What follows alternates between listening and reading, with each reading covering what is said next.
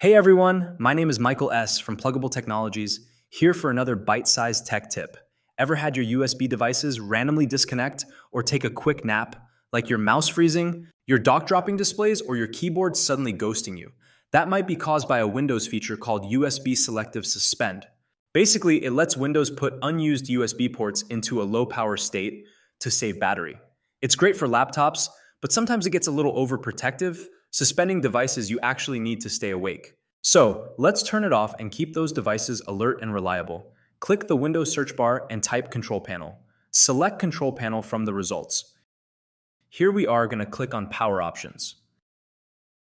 Find your current power plan and click Change Plan Settings. Next, click Change Advanced Power Settings. In the new window, scroll down and expand USB settings, then USB Selective Suspend setting. Now I'm conducting these steps on my desktop, but on your laptop, you should see both on battery and plugged in options.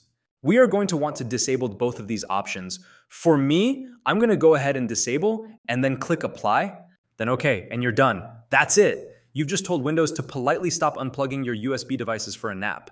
Now they'll stay connected, awake, and maybe a little over caffeinated. That's another tech tip from Plugable Technologies. Stay tuned for more bite sized fixes.